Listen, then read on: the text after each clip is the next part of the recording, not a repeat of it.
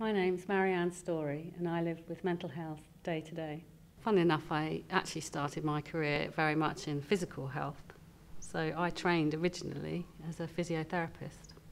And it wasn't very long before I was into my training and career where it became very obvious to me that actually people's mental health was almost more fundamental thing to work with before you could help them fix their physical health. And I see that a lot in mental health, you know, you have to embrace the whole person. Physical illness can often be very evident. If I broke my leg and came to work in a plaster, you'd know about it.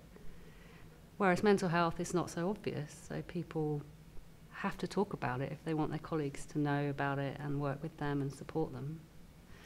From just sort of some mild mental distress, mental difficulty, through to some really quite complicated diagnoses as an organisation, you have to try and support everybody, but in a very different way.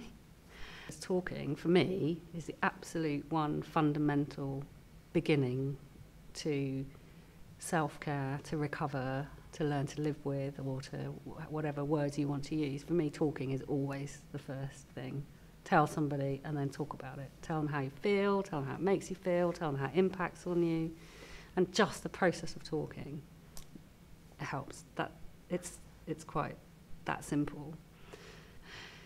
People, so many people live every day struggling with their mental health, and they don't talk about it. So when they do, the impact on their ability to work productively, focus for longer, you know, it's almost like a cloud gets lifted. It's, it's like if, you were, if your leg was hurting all the time and then suddenly that stopped.